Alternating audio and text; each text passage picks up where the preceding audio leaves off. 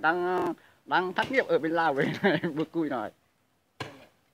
À đồng chí thọ à, nói gì không là gì có? Đủ chuyên rồi chào bà con. Ơi chào bà con à, trên youtube nhá. Ở trên youtube là ở bên lào giờ về thất nghiệp là đi bực củi là ơi thôi là ai có nhu cầu là giới thiệu cho Mớ. đại gia và à, đang về nhá ơi rồi. Rồi à như bà con đăng ký à, một nghìn một nghìn lái nhá. Giờ bà con đăng là điều kiện ờ, dịch cúm covid 19 Ơi, anh em ở nhà là, là đi cách ly thì hoàn thiện rồi giờ là về trở về quê hương là không có công an việc làm.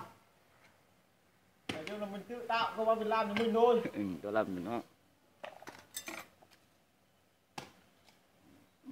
bữa nhanh nhanh lên đi. Thế là bữa mình lâu vậy đấy bữa nhanh lên. Toát mồ hôi đít ra đây ra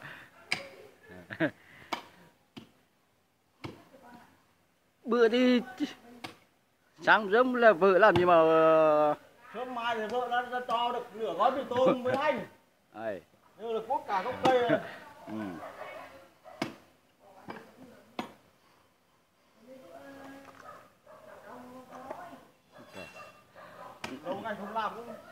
nói dài về nói dài về nói ra ông thò lên mạng muốn gặp trai rồi lâu ngày là Mẹ, không giống làm nhưng mà vẫn vui trở lại cái nghề ngày xưa là ăn rồi đi ờ, đi, đi ra đi cốt tuần đó. Đi cuốc đun thả trú Rồi.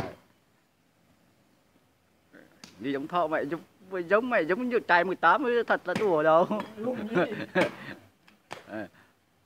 bà tí thì mẹ à, khóa khối